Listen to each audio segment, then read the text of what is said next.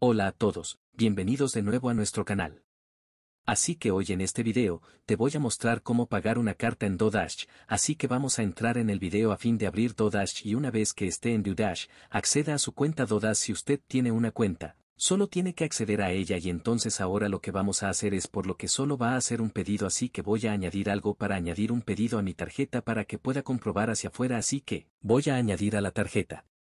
Solo tienes que elegir cualquier artículo aquí que desea comprar por lo que solo tiene que añadir a seleccionar cualquier elemento y luego añadir a su tarjeta. Así que solo tienes que elegir, añadir a su carrito y cuando llegue a mi carrito aquí. Acabo de añadir este artículo para la demostración. Este es mi carrito, así que voy a pulsar en ver carrito.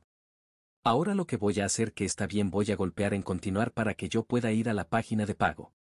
Cuando voy aquí a esta página de pago aquí, Así que después de que podemos proporcionar todos estos detalles de la entrega y todo lo que está bien. Así que ahora lo que voy a hacer, voy a seleccionar mi opción de pago. Así que en virtud de pago aquí, así que voy a hacer clic en el pago de modo que voy a llegar a la opción aquí.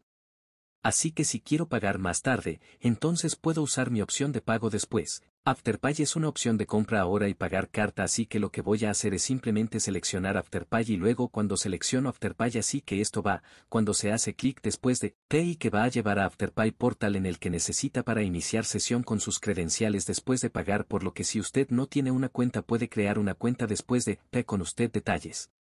Pero si tenemos una cuenta por lo que parece que va a pedirle sus credenciales y luego simplemente entrar en sus detalles aquí y log, en su cuenta Afterpay y luego autenticar esta transacción y si lo hace eso es todo su pedido será colocado en Dodash por lo que esta es una manera de cómo se puede pagar más tarde en Dodash así que espero que este video fue útil nos vemos en otro video gracias.